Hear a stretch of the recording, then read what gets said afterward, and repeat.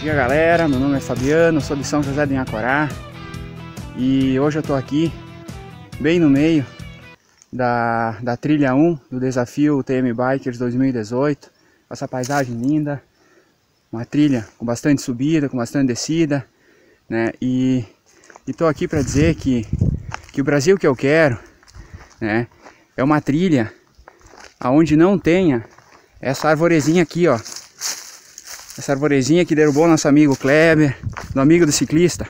Kleber, esse terreninho aqui é teu.